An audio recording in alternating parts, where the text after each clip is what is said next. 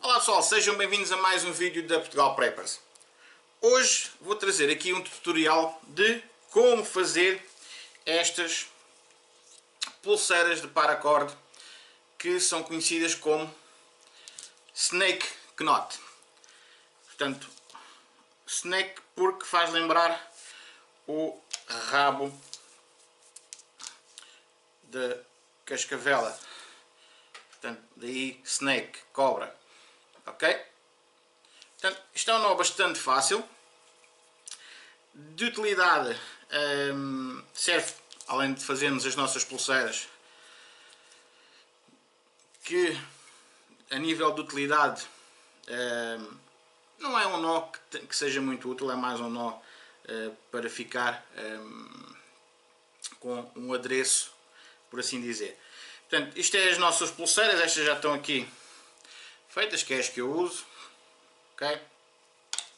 E também pode ser feito eh, adereços para eh, as nossas facas, portas-chaves e por aí fora.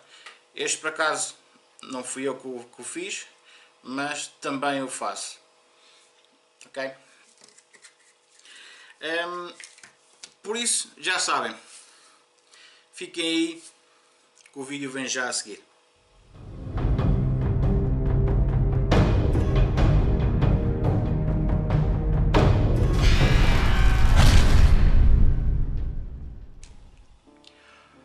Então vamos lá ao nosso tutorial. Portanto, já sabem, é Snake Knot. Portanto, um nó de cobra. O que é que nós vamos precisar para o nosso nó de cobra? Paracord, ou outra corda que queiram usar, uma tesoura para ser mais fácil de cortar e um isqueiro para queimarmos as pontas da paracord. Para já, isto vamos deixar de lado. Vamos sintonizar só aqui na nossa corda. O que é que nós vamos fazer primeiro? Vamos achar o meio da nossa corda. Ok? Já achamos o meio da nossa corda. Este não é bastante simples de fazer. Porque depois de fazer o primeiro, todos os outros é em sequência. Portanto, depois de acharmos o meio, temos as duas pontas, portanto a esquerda e a direita. O que vamos fazer com o lado esquerdo, vamos passar por cima do lado direito. Ok?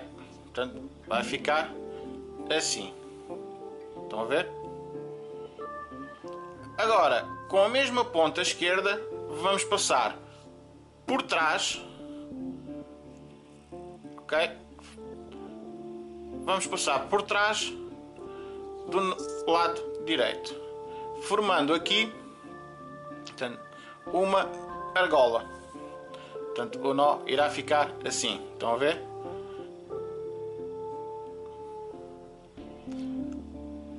Agora, depois de formarmos esta primeira argola, o que vamos fazer? Com esta parte direita, portanto foi a que sobrejou, ok? Eu está aqui agarrado só para poder manusear melhor a corda. Com a direita, vamos passar por trás da esquerda, ok? Passar à frente da esquerda, ok? Desta esquerda e entrar aqui na toca Ele vai ficar assim. E com isto está feito a primeira laçada do nó. Ok? Como eu quero, como eu não quero ficar aqui com um malhos tão grande, um, eu vou encurtar, puxar aqui para cima até à medida que eu quero, portanto, aqui está e vou puxar as duas pontas. Ok? Portanto o nó fica assim. E agora é fazer exatamente o mesmo que fizemos inicialmente que é o lado esquerdo passa por cima do direito, por trás do direito, formando a argola, ok? Fazendo isto, depois o direito passa por trás do esquerdo, por cima do esquerdo e entra na toca. Ok? Vamos puxar para cima, unir até aqui ao outro e o nosso nó cobra começa-se a formar. Estão a ver? Portanto, e agora vamos fazer todo o resto da corda. Aqui um pouco mais rápido para vocês. Até já!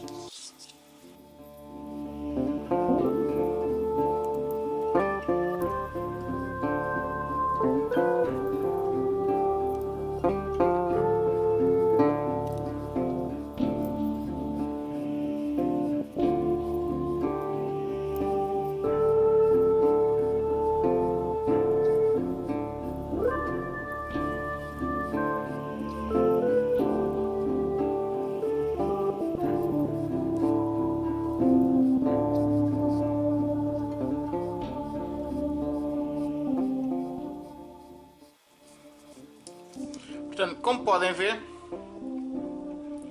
o nó começa a ficar como um rabo de uma cobra. Agora, vocês, eu vou só fazer este bocadinho, mas vocês poderiam continuar para fazer uma pulseira. Aqui dá para fazer um porta-chaves, porque é um tamanho diminuído.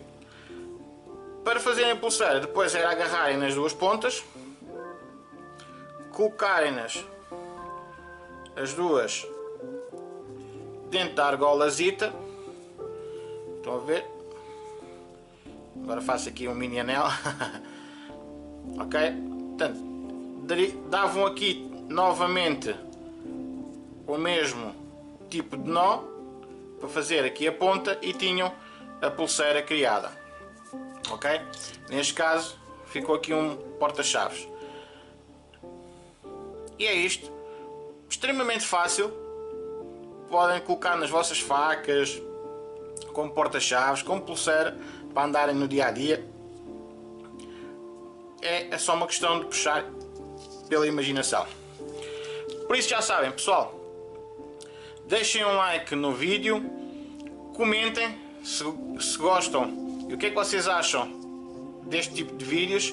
Se querem que eu faça mais vídeos deste tipo ensinar vós, nós, será um novo quadro que está aí, portanto, nós e amarrações. Já sabem, sigam também as nossas redes sociais, fiquem bem e fiquem preparados.